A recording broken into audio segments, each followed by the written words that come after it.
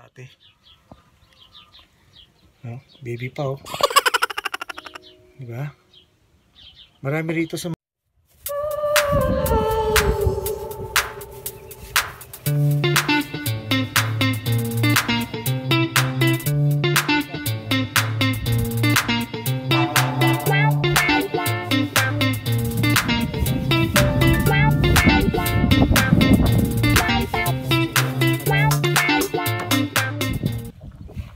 sa loob ng barn.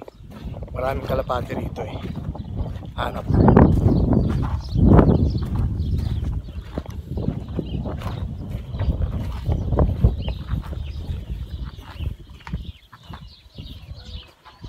Ito yung mga ito yung loob ng barn. Ah, kasi kanina ah, lumabas yung mga laying hens. So ang ginawa ko ah, inipon ko sila, tinakpan ko tong lugar na to para di sila makalabas. Tapos ah, tsaka ako nilagay itong net na to dito sa may ng gilid. Itong net na to, nilagay ko dyan. So pinapasok ko. Kaya yung mga nasa labas na laying hens, nandun pa yung iba, kaya ito na yung pumasok ulit. Kaya yung itlog nila, kung saan saan na lang napunta. Tulad nito. Kung saan saan nag-iitlog sila kasi nakawala sila eh. Nagkaroon ng butas. Nabutas yung ah, kulungan nila. Kaya tignan nyo to.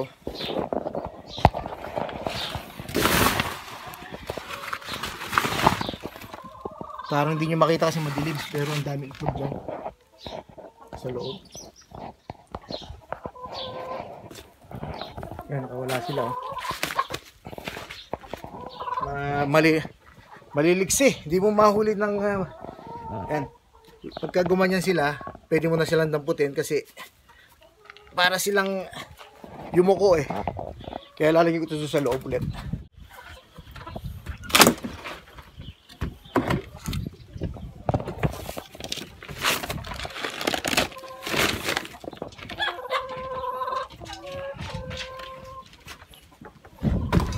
Titingnan tayo ng mga kalapati rito.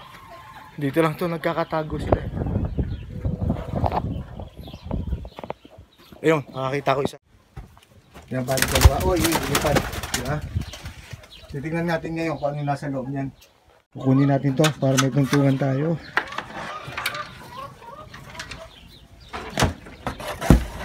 Yan. Siguro marami kasi ang mga itlog dyan. Ang kalapati. Diyan sila nagpupugat sa mga gilid-gilid na ganyan. No? Yan sa mga ganyan. Yan, bali dyan sila nagpupugat.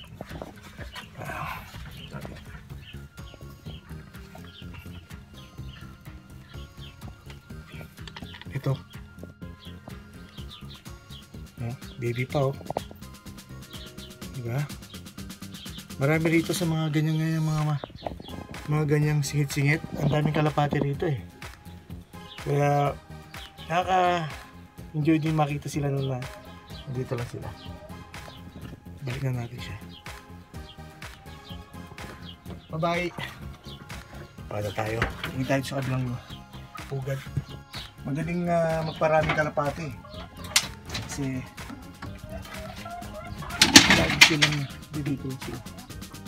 Ayun, nakakita ko isa. Oh. Ayun. Yeah.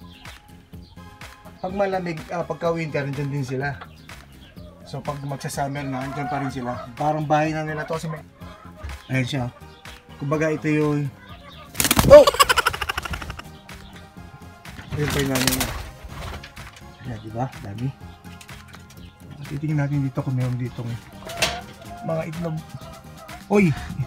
Swerte tayo. Nakakuta tayo ng itlog. Dalawa. Wow. Yan yung itlog niya. Oh. Oh. Itlog to ng kalapati. Dito nakalagay. Dito siya nakalagay. Oh. Dalawa. Dalawa. Swerte tayo. Nakakita tayo ng itlog ng kalapati dito. Ah. Ah. Kung gugustuhin ko lang mag-alaga, nalagaan ko na sila dito pero ah Bawal kasi yata dito yung mag-aalaga para sa atin eh, sa Pinas. Ayan.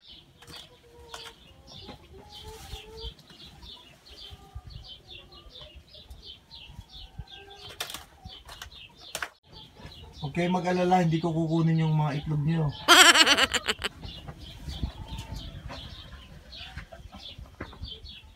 Nakita natin yung itlog. Swerte tayo. Mayroon na yung nakitang itlog dito sa taas. Hanap pa tayo. Ayan oh. Medyo madilim pero makikita pa rin siya.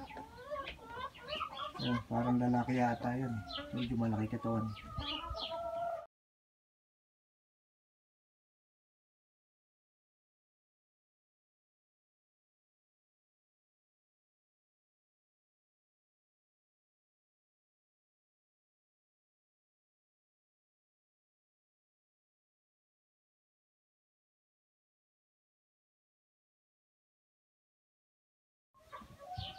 Hanap tayo ng kalapate. Meron. Ito meron isang na namatay na kalapate oh.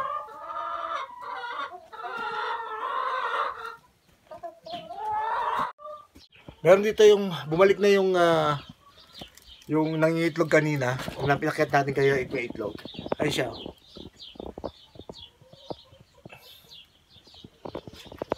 Bumalik na siya. Kasi malis na tayo kanina. So ayun yung isa sa taas. Kita niyo yan sa taas? Ayan oh. Ayan, ayan siya. Ayan, ayan. Yan. Kababalik lang yan galing sa labas. Oh. Ayun, lupad na naman. Lupad na naman.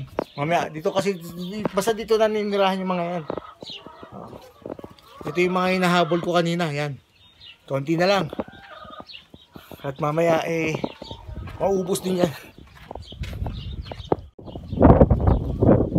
Nandyan sila sa taas siguro. Yung taas na yan, dyan, dyan sila nag, uh, uh, nagpupugad din. Siguro maraming kalapati dyan, pero mahirap umakyat kasi baka mamaya uh, marupok na rin yung ano, ma- matagal na rin pa.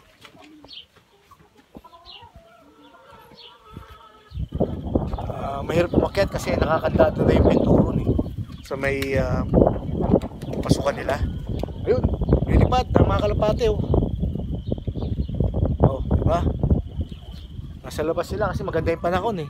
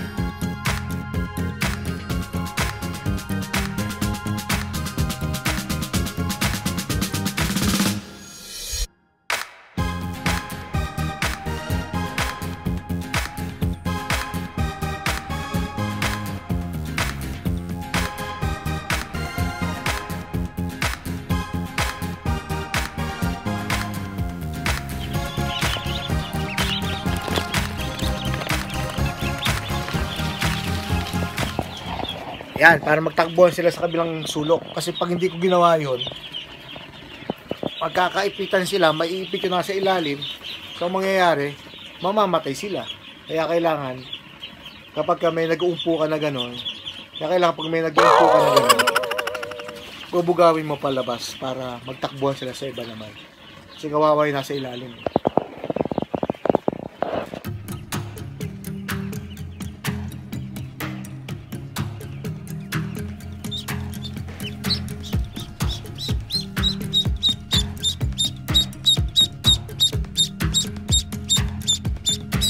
Sige, balikan mo doon. Balikan na, balikan na. Oh, sorry, sorry, sorry. Pagka babies pa, pa lang, ang kainan nila dito sa may ah, ah, lagayan ng itlog na yan dito. Yan. Kasi hindi pa nila maabot yung talagang kainan nila. Pag medyo lumaki-laki na sila, ito na yung kanilang kainan. O, hanggang dito na lang muna siguro guys kasi ah, may gagawin pa ako. Huliin ko tong mga lengis na nakawala eh. Tulad niya no, titigas ng ulo. Excuse me po. Ah, Nagpapasalamat ako sa inyo sa panonood nyo at sana huwag kayo magsawang manood ng mga sinishare ko sa inyo. Maraming salamat. Sa kita-kits ulit tayo.